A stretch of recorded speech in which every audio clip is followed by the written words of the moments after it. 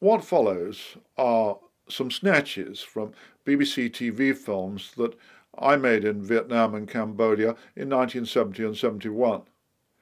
I apologise for my broadcasting voice almost half a century ago, but I hope the clips will give some flavour of the work of a very green young reporter near the back end of the war.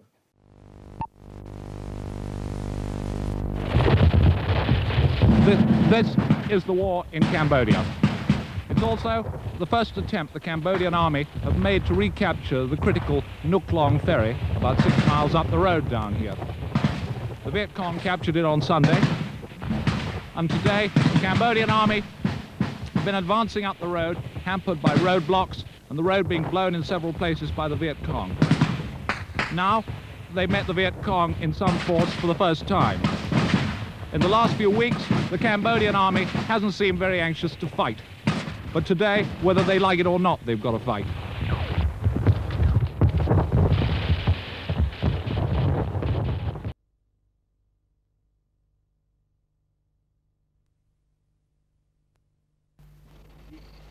Somewhere down in Saigon, there's supposed to be a battery of generals who are dictating the manner in which the Vietnam War is being fought. But never in history has any army had to thrust so much responsibility for its very survival on the manner in which the men on the ground conduct themselves. Three years ago, here at My Lai, Lieutenant William Calley of the Americal Division showed what happens when that responsibility collapses. All that's left of the place now is a tangle of foliage and booby traps the war has moved on. But for the company commander in Vietnam, the man on the spot, the dilemmas that created the crisis of Lieutenant Calley are still very much the same. For many months now, the focal points of this war have been the scores of scattered fire bases dotted across the dirt and jungle the length of Vietnam. Firebase West, here in the center of the country, 30 miles north of My Lai, is the headquarters of a battalion of Calley's old division, the Americal. Although after the bombardment of unhappy publicity that's followed it through the last few months, they've now turned to calling it the 23rd.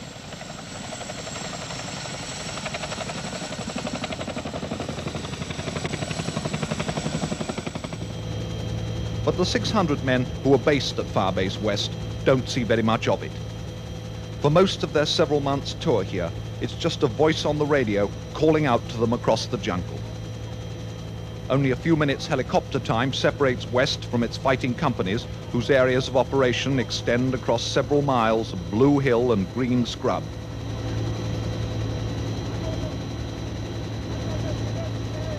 But for a group of 70 men bivouacked in the empty bush on the fourth day of a two-week patrol sweep, their own feet are the only transport they'll get until it's over.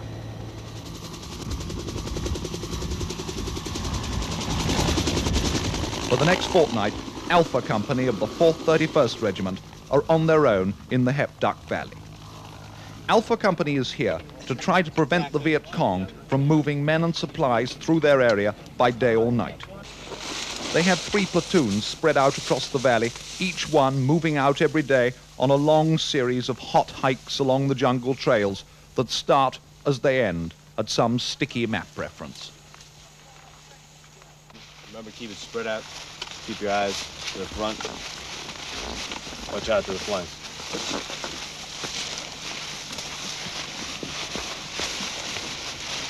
Okay, make sure you keep your eyes open for booby traps up there.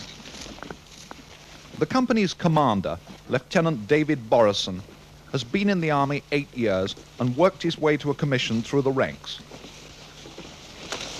Hey, Long, when we get into the bill up there, you watch Talk to the mama sans if necessary.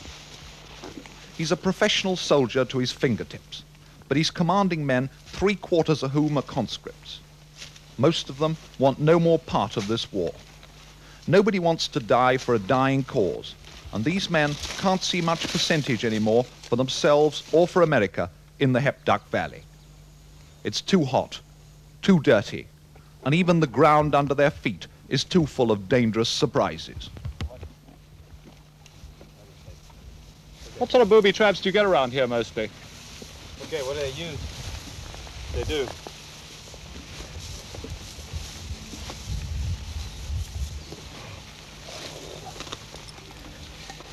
They take one of our smoke grenades,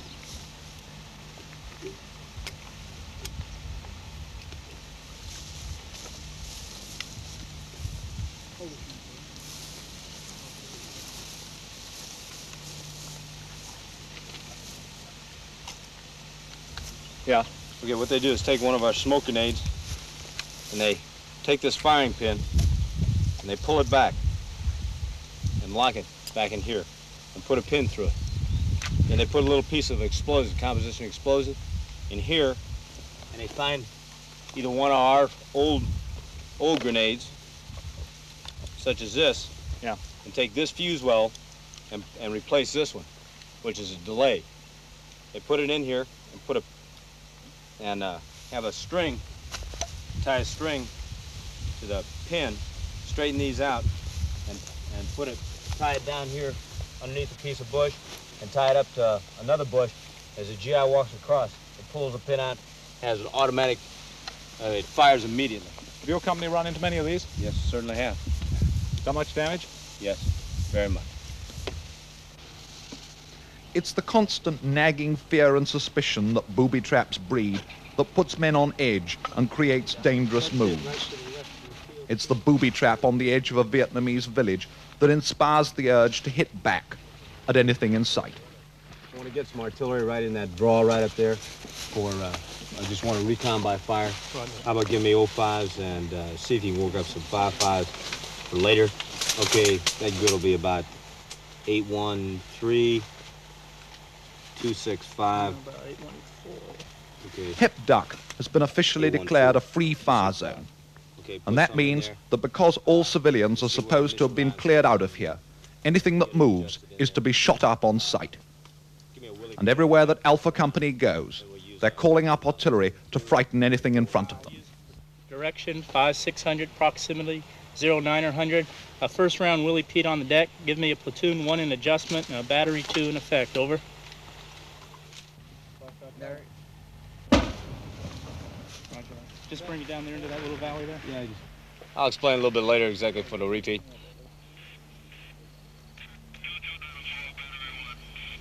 Uh, Roger, understand battery one. 2208. Understand. Battery 1 shot out. There might be short rounds.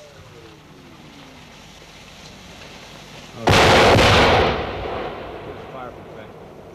Roger that. Uh, 2222. This is 08. Fire for effect. Over. Last night, the company observation post picked out a sampan moving up the river. They called down 30 rounds of heavy artillery fire on it, making it a pretty expensive sampan by any standards. And even then, it's doubtful if they sank it. Uh, But around here, when you've thrown enough explosive at something, you count it as destroyed because you can't imagine how it could have survived. In Hiep Duc, it's at Lieutenant Borison's sole discretion whether anything from an elephant to a group of distant figures on the skyline gets blown to hell.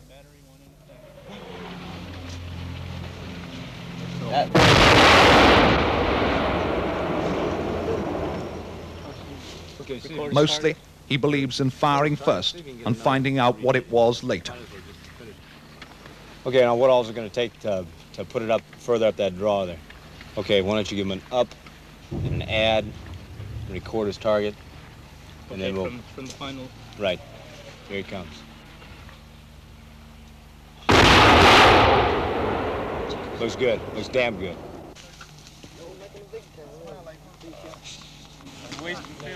This patrol gets back to camp, having seen precisely nothing.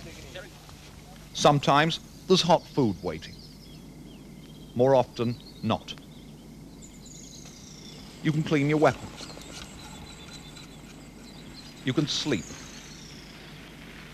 You can read the latest word on how America is appreciating one aspect of this war, or even try to get to know your enemy a bit better. Mostly, you just sit. We are the unwilling, led by the unqualified, doing the impossible for the ungrateful, reads the inscription on one man's lighter. And that's by way of becoming the motto of this army. This is the American Forces Vietnam Network.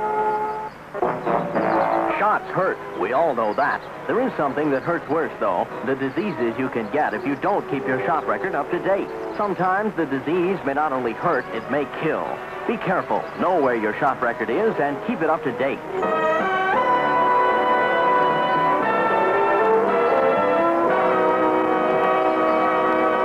Alpha Company is fighting a battle that's much too boring to be exciting, but much too dangerous to be relaxing. You've been out here quite a few months now. Have you felt what you've been doing here is worthwhile? Uh, sometimes yes, but majority of the times no. Why? Well, like like today or past few days, we've just kind of wandered around here and haven't done anything. I suppose Higher Higher has a plan, but it's not obvious to us, and they haven't made it known to us what we're doing here. We're just here. We move from this point to that point. How much enthusiasm is there now for making contact? Very, very little. Nobody wants. Everybody just wants to go home in one piece, and if they kill somebody, I think they just kind of break up mentally now, because there's nothing going on really over here, where we're at anyway. You walking do you think, around. Do you think that for a- any of the units um, around Vietnam, that if they hear there's an NVA regiment around your area, is there much enthusiasm for going out to look for it, or? Negative. Not even. People would just rather did him out in the opposite direction. That's all. Do you think that um, the kickback from the Calley trial has m- made any real difference here in practical terms, or is it just something you talk about? One time we had uh, approximately 10 VC running around our, we were on top of a large hill, and we could see two or three groups of them with weapons running around. And we, uh, everyone was afraid to open fire on them. We tried to get clearance. We didn't know it. We'd been granted clearance from the CO, but uh, the RTO was so busy informing the other platoons out there that there were VC in the area, and they just forgot about it in the excitement. So we never got the word to shoot them, and they just walked through a grove of trees with their weapons and came out the other side, leading water buffalo, and kept on going. So they got away, and they're still there to shoot us the next time. I mean, that sort of thing. It makes you hesitate when you shouldn't hesitate. When you see an enemy with a weapon, you should be no question that you should be allowed to shoot him. as far as that's concerned, they have, you know, an awful lot of rules and regulations, and uh, it's pretty foolish. I mean, uh, check fire zone, control fire zone, seeing the enemy, not being able to shoot them, no. It's rather foolish. Why give them the chance when you can get them there? How do you all get on with the Vietnamese civilians when you meet them? Pacified civilian, we have a good relationship, I would say. You know, so. And of course, there's a civilian we meet out here. Of course, our main objective is to annihilate him. Here we're in a free fire zone. Roger that. So any civilian you meet, you've got to reckon is Viet Cong. They're pro VC. How do you feel when you get orders to move a bunch of civilians out of a village or something like that? Does it bother you, or um, is it just part of the job? It's just like a game, really. One day we rounded up uh, 200 prisoners. We burned down every hooch we could find. Mama sans, babies, didn't matter if they were sick or what. Well, we sick people we left behind, that's right. Didn't uh, bother them too much. Killed off all the animals or drove them away.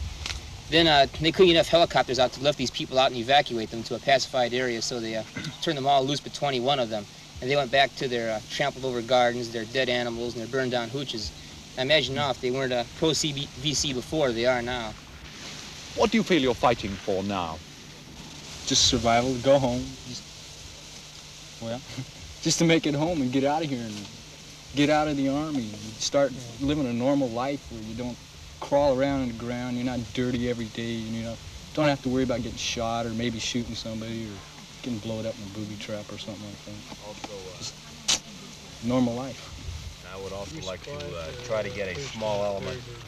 Lieutenant Borison has not only got to keep these men fighting, whether they're in the mood for it or not, he's got to hold them tight in hand in situations where it's hard to see who the enemy is, and where each man is carrying in his hand enough firepower to blow apart a dozen people in less time than it takes to pass on an order. But he's far more popular with the conscripts who depend on him than many other field officers in Vietnam. In an army in which discipline has always been lax by most standards, he believes in imposing his personality firmly on his company. He knew Calley, and he thinks he was a weak officer. It uh, seems to me that it was a a condition on the spot. It was the mental frame of mind the people were in at the time. It was uh, the loss due to booby traps, a morale lowering factor. Uh, possibly they lost some of their best buddies and uh, they saw no reason for it. But you've had the same thing happen to your company. You've had people lost in booby traps. You've taken quite heavy casualties in the company, and you don't seem to have problems of this kind. Why? I would like to think it's because of my own command influence that uh, I keep tabs with each individual in the company. I know what his mental frame of mind is, and if I see something uh, brewing of that nature, I, I uh, discuss it with him to get him back on an even keel so we can complete our mission. What sort of factors have to go through your mind if you're approaching a Vietnamese village and you take fire from it? Number of people, the volume of fire, uh, the extent of your casualties, uh, the, the tactical benefit of uh, perhaps annihilating or just merely uh, returning fire to the village. Uh, civilians, of course, are, are a big question. Uh, you must estimate first approximately how many people are there. If you can see anybody moving, uh, sometimes it's very hard. They hide in holes. You won't be able to see them until you're right on top of them. But these are some of the factors that you have to use. Do you feel as a career soldier that it's right that you as a company commander and your platoon commanders must be held personally accountable for their actions in any sort of situation that arises? Well, as far as I know, every war uh, that the commander has always been held responsible. Uh, it's it's just the same now as it always has been. Uh, I think someone in the unit has to be accountable and has to have the the final answer to what happens or what doesn't happen with that unit. And if it's not going to be the commanding officer, then they they no longer need commanding officers. Do you want us to set up back in here or, or Back get in- closer to the river? No, I want you to set back in here. Then tomorrow. Hey, over there. Planning yet another patrol to the site of a village for yet another day. Borison is staying with one of his platoons because he's got yet another kind of problem to face. He's here partly to keep an eye on its commander. Lieutenant Evangelino believes his platoon should stick to fighting with fair weapons, rifles and machine guns, and urges them to avoid all the grotesque gadgetry of claymore mines and Mickey Mouses, booby traps and tripwires. If he doesn't change his mind, Borison will unstick him. But he thinks he'll come to his senses pretty quick. Okay. They come to a very quick realization of uh, exactly what their commitment is going to be. And uh, I've seen, I have seen the individuals come to me with this question in mind. But after a very short period of time, the first few rounds flying over their heads, they make up their mind very quickly.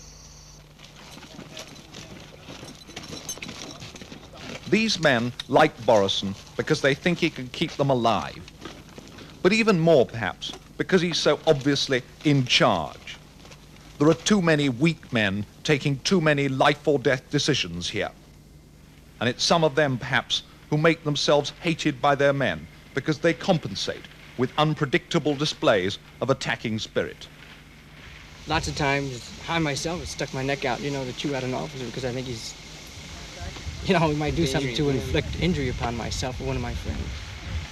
Right, there was an incident like that where, where we had a relatively new CO and he wanted to impress the colonel that he was adequate in his position. And from the way I understand, he begged the colonel to let him take this mission from from a PFs, you know, in other words, from the Arvins. And we didn't venture more than half a mile into it, and we hit a booby trap and lost 10 people.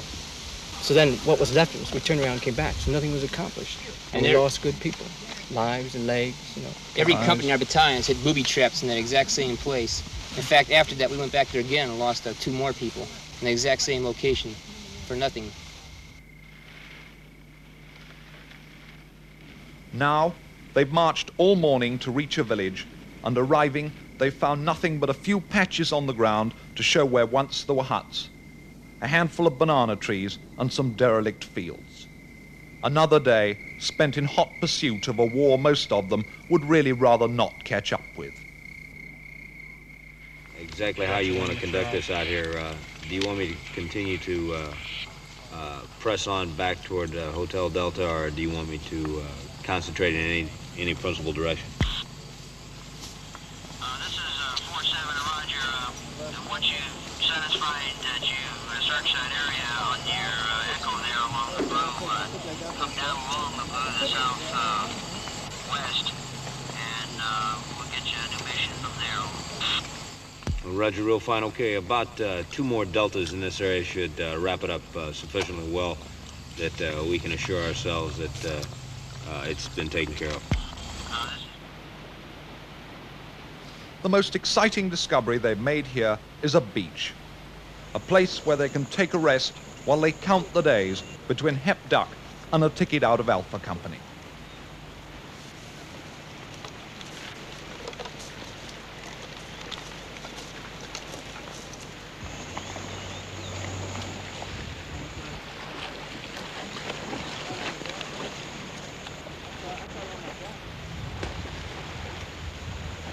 They may go home, perhaps, to some place where you don't have to fire even the harmless hillside before you can take a swim.